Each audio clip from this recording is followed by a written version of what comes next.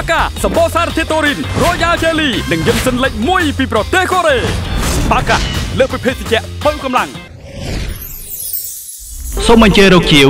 ឬពីគ្រោះជំងឺនៅអសពបារាណសញ្ញាខ្លាឃ្មុំផ្ទះលេខ134ផ្លូវលេខ130គុតខាងកាត់ផ្សារធំថ្មីទូរស័ព្ទលេខ067 9គុត0909អសតបារាណសញ្ញាកូនភ្លោះលោកអ្នក រៀបការយូរឆ្នាំហើយគ្មានបុត្រធីតាសូមប្រើអសតបារាណសញ្ញាកូនភ្លោះអាសយដ្ឋានទល់មុខប្រលានយន្តហោះអន្តរជាតិភ្នំពេញទូរស័ព្ទលេខ012 29 89 26 វិជ្ជសាស្ត្របុរាណអង្គរវិជ្ជសាស្ត្របុរាណអង្គរមានទទួលព្យាបាលជំងឺគ្រប់ប្រភេទដោយឱសថបុរាណជាជំរើសរបស់អ្នកជំងឺដែលនិយមប្រើប្រាស់ឱសថបុរាណអាសយដ្ឋានផ្ទះលេខ73អឺអងផ្លូវលេខ2004សង្កាត់កាកាបខណ្ឌពោធិ៍សែនជ័យជាប់ខាងកើតប្រលានយន្តហោះពោធិ៍ចិនតុងទូរស័ព្ទទំនាក់ទំនង017 6066 097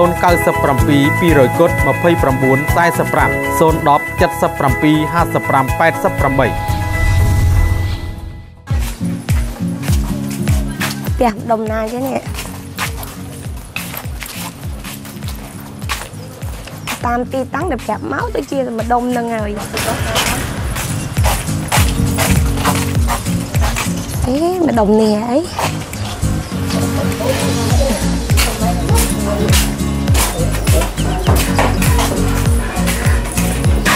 អូចាបងស្រីជំរាបសួរចាអសុំសួរបន្តិចបងស្រីចានៅក្បែរហ្នឹងចាបងមានស្គាល់ផ្ទះរបស់បងស្រីម្នាក់ដែលថាពិការដៃប៉ុន្តែគាត់អាចមានសមត្ថភាពបញ្ចូលសម្លេងបានណា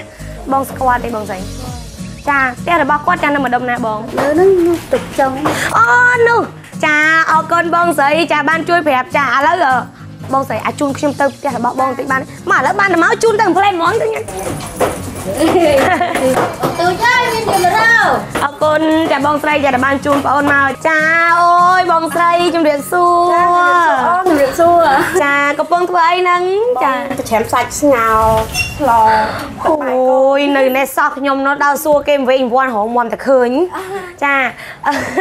ចាបងស្រីសុខសប្បាយទេបងបាយអូនចាសុខសប្បាយចាឃើញតែបងចារវល់រមាញញឹកចាស្លកូនទៅរៀនអីបងអូនទៅរៀនថ្ងៃចាអើ កូនបងចាគាត់ចូលរៀនហើយចាថ្នាក់ទីម៉ានឯងបងអូនទៅរៀនដាក់ទី1ចាទី1ចាអត់ទៅចាបងស្រីចាបងអាចជម្រាបឈ្មោះជូនទៅដល់ប្រិយមិត្តទូរទស្សនិកជនបានទេបងចាបងនៅផ្ទះគេហៅថាស្រីទូចទៅពេលនៅចានៅជីជាតិបងឈ្មោះកងបុផាអូ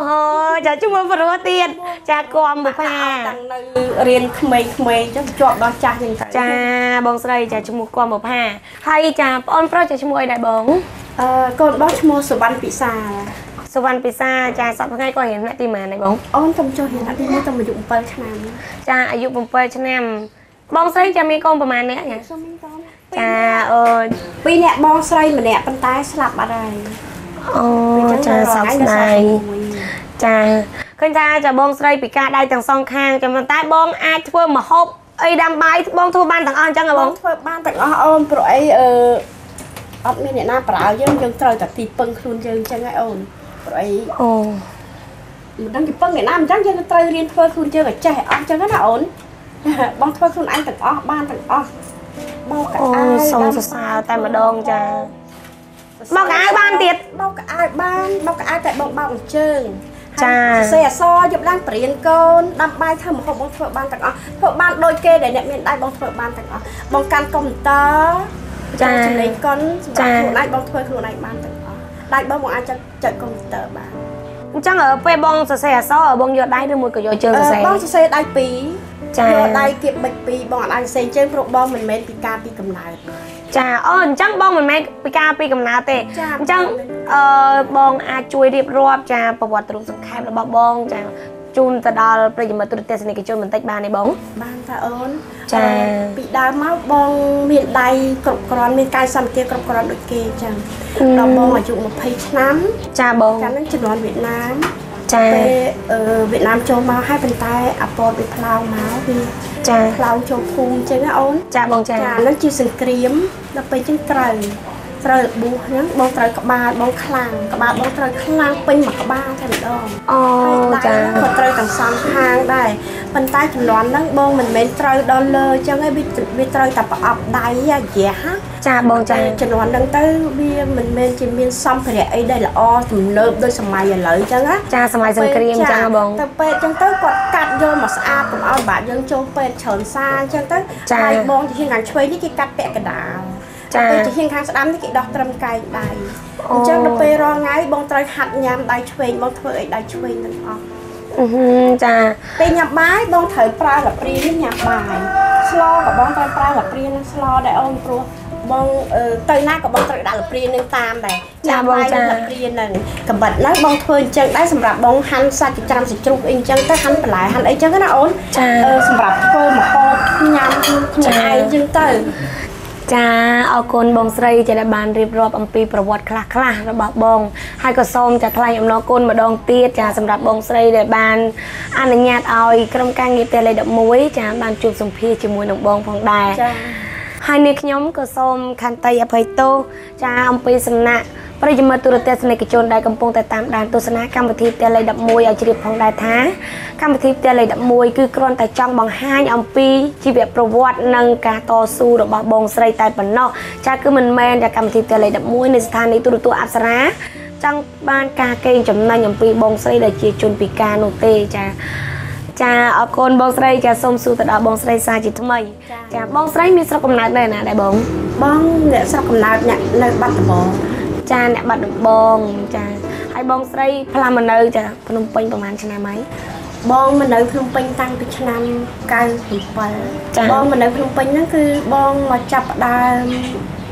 មករៀនអឺបញ្ចូលសម្លេងវីដេអូតែម្ដង ហើយចាអ្វីជាអ្នកជំរុញបងស្រីឲ្យបងស្រីចាប់យកអាជីពហ្នឹងចាមានអ្នកណាបង្ហាត់បង្ហាញប្រាប់ទៅដល់បងស្រីដែរឬទេបងអឺពីដើមឡើយបងចាប់ផ្ដើមពីការភ្លាមបងមិនដែលមានកំណត់ថាធ្វើអីក្នុងជីវិតគឺអត់ដឹងថាត្រូវធ្វើអីហ្មងណាអស់សង្ឃឹមក្នុងជីជីវិវិតតសង្ឃឹមក្នុងជីវិតគិតតែម្យ៉ាងគឺចង់ស្លាប់អូចាបងអស្រីត់ចង់រស់ទេព្រោះចា៎អឺបងធ្លាប់មានដៃបងធ្លាប់មានចា៎ដៃថាដល់ពេលបងអាយុ20ឆ្នាំ ទៅបងអត់ដៃចា៎បងអត់ដៃដោយសារសង្គ្រាមចាដល់ពេលអញ្ចឹងជីវិតបងពិបាកពេលយើងធ្លាប់មានដៃហើយបែរជាយើងអត់ដៃពិបាកចាបងចាបើនិយាយថាពិបាកគឺពិបាកពិបាកសិនថាមិនចង់រស់បងអត់ចង់រស់ទេចង់តែសម្រាប់ខ្លួនឯងរស់នៅវេទនាសំបីតែញ៉ាំក៏មិនចង់ញ៉ាំថាបបជើងក៏មិនចង់បបជើងគ្រប់ពិបាកពេកពិបាកចាអឺហឺ ចាជាការប៉ុណ្ណាចាធម្មតាទេបងស្រីធ្លាប់តែមានដៃទាំងសងខាង ចាតែពេលយើងពិការទៅចាប់អីធ្វើអីក៏ខុសចាប់ដែរអីធ្វើអីក៏ពិបាកចាបងស្រី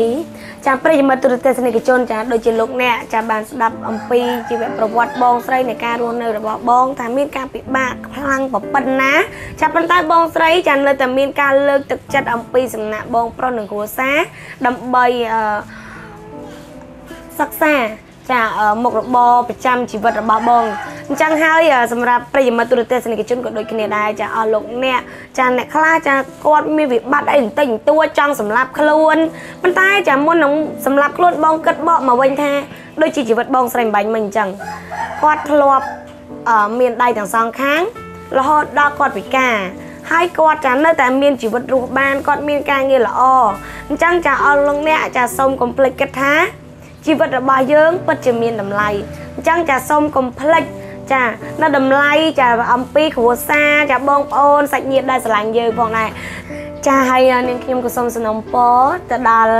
ចាគ្រប់បណ្ដាក្រុមហ៊ុន ចាស្ថាប័នផ្សេងផ្សេងចាប្រសិនជាអស់លោកអ្នកចាត្រូវការចាបុគ្គលិកចាឬមួយក៏អ្នកបញ្ចូលសម្លេង ចាសូមកុំភ្លេចចាបងស្រី ចាជួយហៅបងស្រីផង ចាដើម្បីឲ្យគាត់បានការងារ សម្រាប់អឺគ្រប់គ្រងជីវិតប្រចាំថ្ងៃរបស់បងស្រីផងដែរដែលអាចទំនាក់ទំនងបានចាបងស្រីចាលេខទូរស័ព្ទប្រហែលបងអឺលេខបងគឺ012 916 906ចា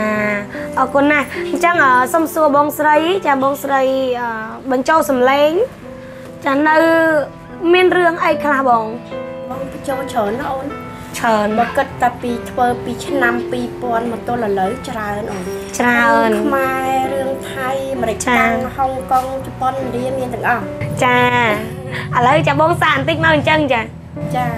ឥឡូវបងគាត់នឹកប្រូមួយសិនដឹងថាប្រូនឹងត្រូវនិយាយមិនទៀតទេតែឥឡូវបងនិយាយម្ដាយចាស់ម្ដាយមុនទេណាចាមកនិយាយថាគេឆាវី បន្តិចទៀតពេលដែលកូនញ៉ាំបាយហើយកូនជូនប្អូនទៅសាលាផងណាចាំមកណែញ៉ាំបាយឲ្យលឿនទៅបងនឹងជូនឯងទៅសាលារៀនហើយបងនឹងប្រញាប់ទៅសាលារៀនទៀតណាដឹងទេបាទបងខ្ញុំញ៉ាំឲ្យលឿនអញ្ចឹងពេលបងចង់ខ្ញុំទៅសាលារៀនបងកុំភ្លេចជូនខ្ញុំទៅទិញសៀវភៅផងណាបានមកឲ្យលឿនទៅប្រយ័ត្នហួសម៉ោងរៀនណា អើយចាតែមួយផ្លែតហ្នឹងចាដូរ3តួតែហ្មបងងនិយាយបានល្អព្រោះបងឈឺកន្លះខែអូនសលេងអត់បានចាតុំជាបាន2ថ្ងៃនឹងតាមបានសលេងស្រួលអត់ល្អអីប៉ុណ្ណឹងឡើងពីរោះហើយអញ្ចឹងអឺបងស្រីចាអាចបញ្ចេញសម្លេងកាចតួកាចអីបាននេះបងបានតើអូនកាណែខ្ញុំឆ្ងល់ណាស់ហេតុអីបានជានាងឯងខ្វះប្តីណាស់មែនទេបានជាមកយកប្តីខ្ញុំអូ ស្រីរូបល្អដូចជានាងនេះហេតុអីមានលុយចាយមានឡានជិះតែខ្វះម្យ៉ាងគឺប្រុសមែនទេល្អខ្ញុំបំពេញបំណងនាងបានតែនាងចាំឲ្យច្បាស់ណាអ្វីដែលនាងយកពីខ្ញុំទៅបានខ្ញុំនឹងយកពីនាងទ្វេមួយជាពីរចាំតែមើលទៅ ចាអរគុណបងស្រីចាសម្លេងហ្នឹងកាចហ្មងចាតាំងពិតមិនមែនទេដល់ពេលអញ្ចឹងពិបាកបងរកចាអាចនឹងវាអត់ឃើញទេអូនព្រោះវាអត់មានរូបភាពអីដែលបងអឺត្រូវចាប៉ុន្តែពេលបងបញ្ចូលសម្លេងតួគេសម្ដែងឲ្យគាត់តែបងស្រីនិយាយមិញហ្នឹងអឺខ្ញុំមានអារម្មណ៍ថាខ្ញុំដូចចង់ចូលតួវិញគួយស្ដាប់បងពួកខ្ញុំដូចអាពេលកាចយោតាមពិតអឺពេលអញ្ចឹងបងដូចចង់ហៅរកពាក្យថាចាកាយវាអត់ដល់វាមិនដឹងកាយតែដល់ ហ្មងណាចាបងពេលដែលគេសម្ដែងឲ្យយើងកាយគឺយើងប្រើសម្លេងកាយទៅតាមសាច់រឿងរបស់យើងយើងអាចបញ្ចូលបានចាបងចាកាចស្លូតយំសរសើរតសក់អីចឹងណាចាតែខ្ញុំចង់សម្ដែងតួកាចមួយដែរប៉ុន្តែមិនដឹងជាសម្ដែងទៅបងនិយាយថាមិនទេប៉ុន្តែខ្ញុំចង់ធ្វើទឹកមុខកាចហីបានតាអូនឥឡូវអូនឯងចង់កាចរបៀបម៉េចឧទាហរណ៍ថាកាចហ្នឹងមកស្ដីឲ្យបងទាលុយបងឬក៏មកស្ដីថាបងមិនឥឡូវចាក់បងស្រី ចាប់ផ្ដើមតួកាចតែហ្មងអញ្ចឹងឥឡូវចាប់ផ្ដើមណាចាប់ផ្ដើមចាឥឡូវអូនឯងកាន់ក្អាយភាពបងស្រែកហើយតែឥឡូវខ្ញុំអ្នកសម្ដែងជាតួកាចបងស្រីអ្នកបញ្ចូលសលេង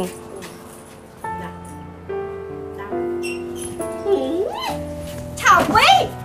ថ្ងៃនេះហេតុអីបានជានឹងឯងបោកក្អាយជើងមិនស្អាតសោះអញ្ចឹងហាណែមកយកក្អាយជើងទៅបោកម្ដងទៀតទៅមើលណាហើយយកសម្បែកជើងមកឲ្យយើងពាក់ផងអូយ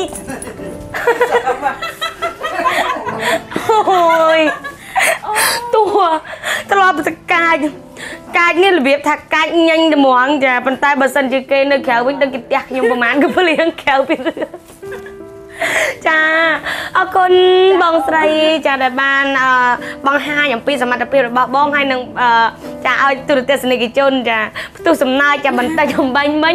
ចាហើយនេះខ្ញុំក៏សំខាន់តែអភ័យទោសចារកការសម្ដែងរបស់នាងខ្ញុំចាគ្រាន់តែចង់ឲ្យពុកម៉ែបងប្អូនផ្លៃអារម្មណ៍ឲ្យបានទទួលអឺភាពសប្បាយរីករាយបន្តិចបន្តួច